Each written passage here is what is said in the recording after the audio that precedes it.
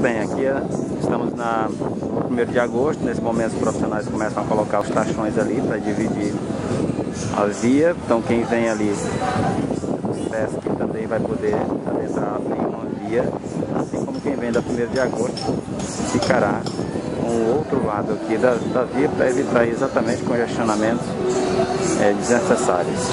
A via foi alargada é, e aí a sinalização também está sendo feita aqui do pedestre para que as pessoas possam trafegar, passar com segurança. Né? Profissionais da Secretaria de Junta de Transportes estão realizando aqui exatamente a pintura nesse momento da faixa. Trabalho que vai acontecer de modo constante a partir de agora na região central de Caxias.